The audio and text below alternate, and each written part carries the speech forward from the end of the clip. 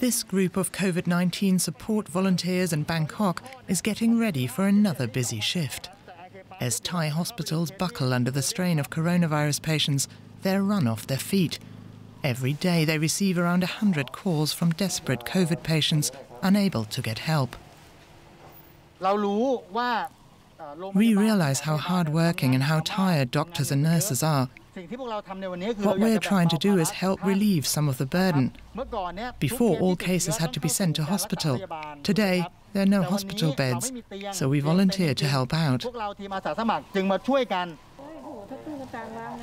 Their first call takes them to a woman who's having trouble breathing. They provide her with an oxygen tank. Then it's on to the house of another woman whose sister is sick with COVID. She says their mother has already died of the virus. My mother showed bad symptoms from the beginning. I called and called to tell them that my mum couldn't handle this anymore, but nobody came. The nurses kept saying there were no beds. In Bangkok alone, around 20,000 people are currently waiting for a hospital bed.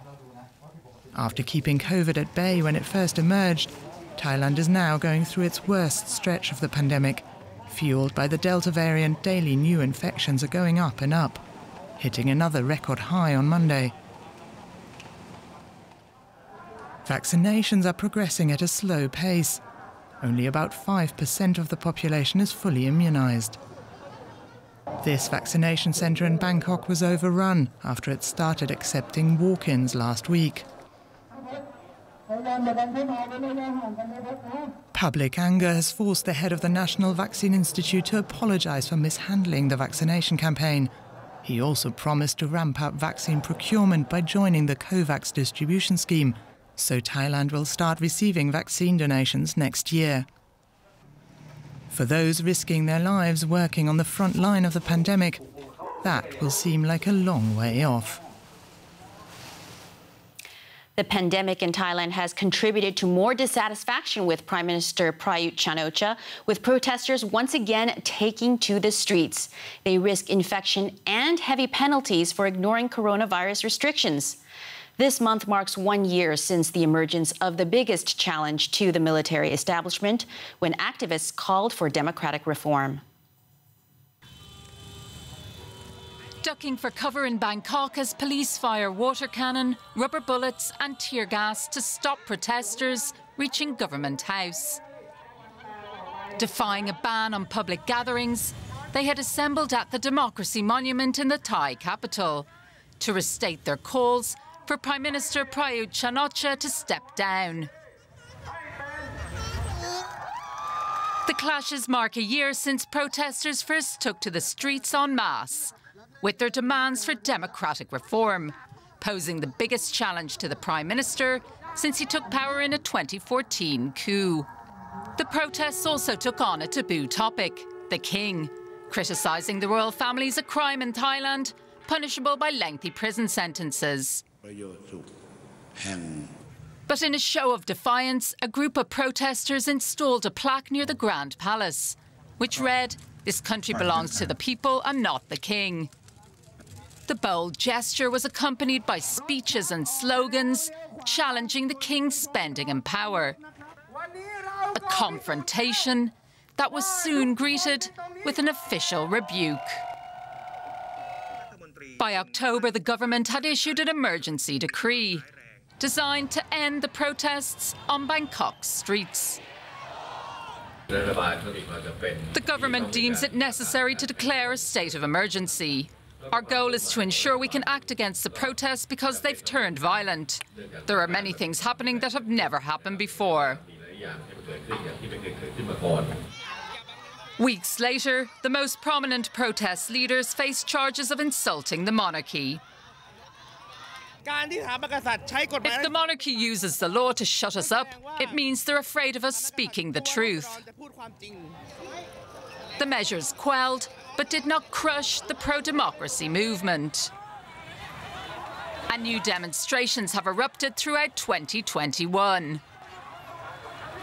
Dissatisfaction over the government's handling of the pandemic is now adding fuel to the discontent. Thailand's experiencing its most deadly wave since the virus emerged, driven by the Delta variant. Vaccines are in short supply, and the economic impact is biting hard. Joining us is Cod Satrusayang, editor-in-chief of Thai Enquirer. Cod, the protesters are making a calculation. They're willing to risk legal consequences and contracting COVID. Why do you think this is happening? Um, I believe that they've gotten to a point where they think that you know there's nothing. It, it's not going to get any worse for them. I mean, we, we're we're in a free falling economy. People are out of jobs. People are really desperate. People don't have enough to eat and the protesters just say enough is enough. They need a change of governance. They need a change of leadership, not only to be able to handle you know the situation with COVID, which has gone terribly over the last six months, but also because the political system has come to a head. And they've gotten to a point where they think there needs to be a wholesale change of politics here, where the military and the conservative establishment is no longer involved in the governance of the country. Now, last summer's protests lost a bit of momentum in later months with people staying at home. Where do you think this second summer of protests will take the movement?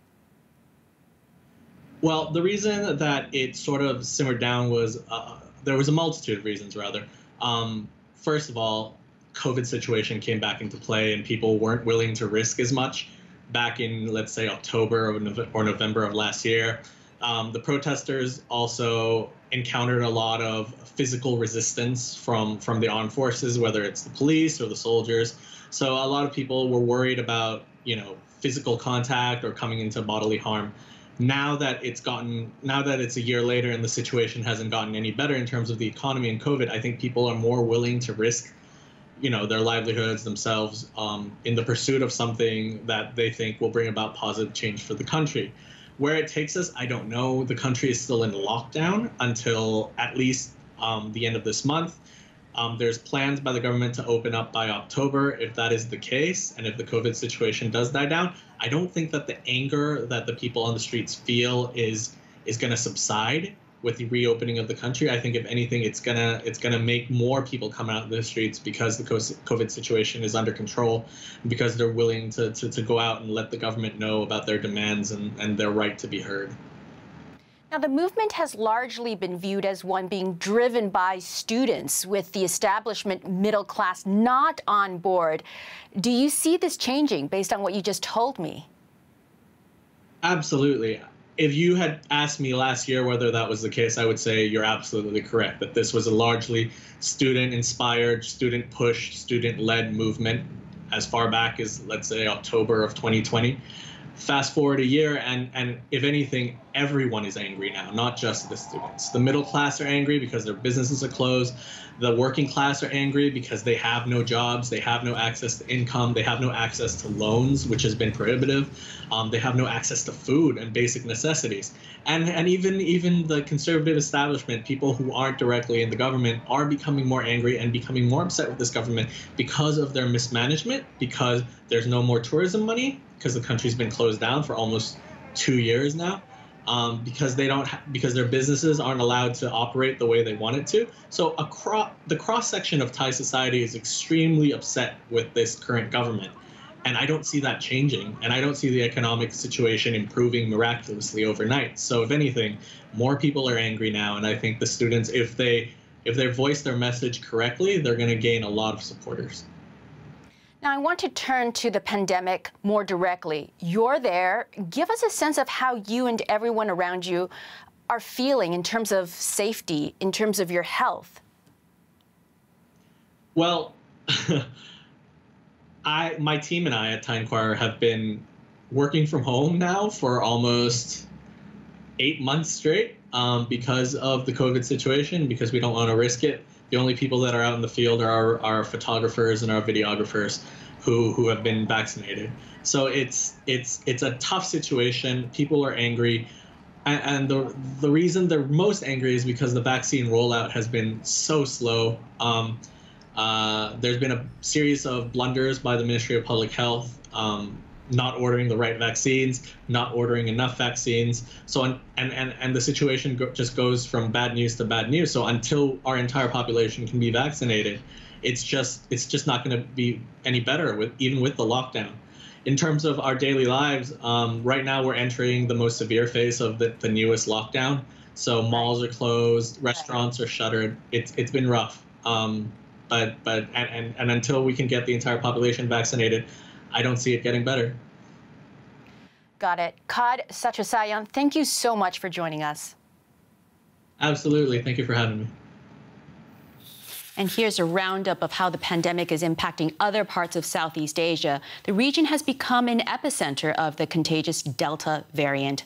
Malaysia says it won't extend its coronavirus emergency beyond August 1st. The country's parliament is convening this week for the first time this year.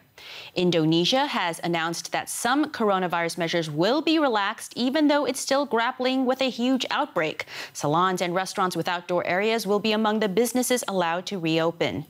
And residents in Vietnam's economic hub, Ho Chi Minh City, face a strict overnight curfew from today. They are required to stay at home from 6 p.m. to 6 a.m. That's it for today. As you know, there's always more on our website, dw.com forward slash Asia, and you can catch us on social media. We'll leave you with pictures of Buddhist monks in Thailand lighting candles for the Asanha Bucha festival, with, of course, prayers for those battling COVID. Thank you for watching.